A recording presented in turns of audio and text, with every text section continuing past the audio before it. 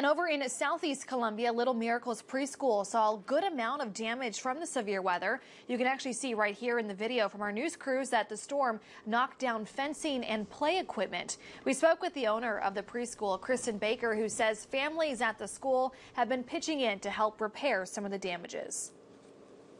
I think we've had at least at least six families um, from our group that at a moment's notice dropped everything and came out this morning to help us.